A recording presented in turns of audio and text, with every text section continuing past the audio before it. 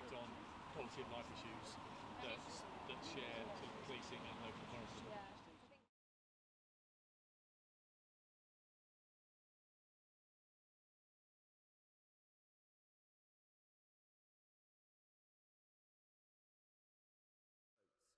and which establishes the UK as Turkey's partner of choice when it comes to tackling the shared, shared challenge of illegal migration. And two weeks ago, I visited my counterparts in Egypt.